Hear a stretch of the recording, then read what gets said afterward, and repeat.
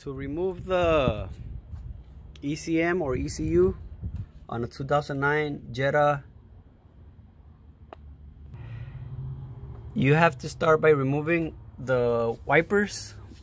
Uh, I took them off already. And uh, once you remove the wipers you remove the plastic cover. I already took it off. It's pretty simple to remove. All you have to do is pull it. Uh, it's only clips that you have to remove and then once you remove the the front cover right here all you gotta do is take off the two screws. One is right here and one is right here. It's a bolt right here.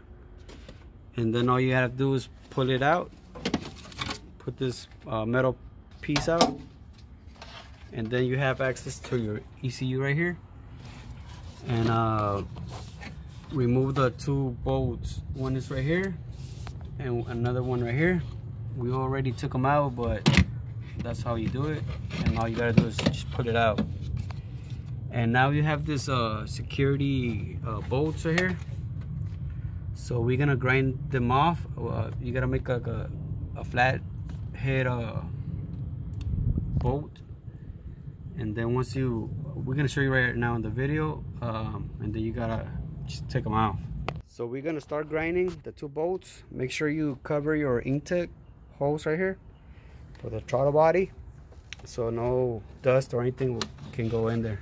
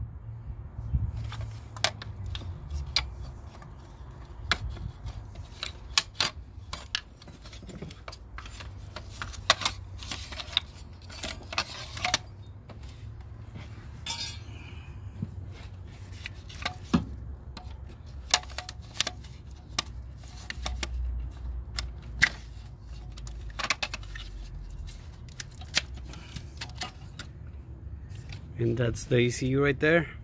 Uh, pretty simple to take out. All you have to do is just pull this um, clips out and just pull it out and that's it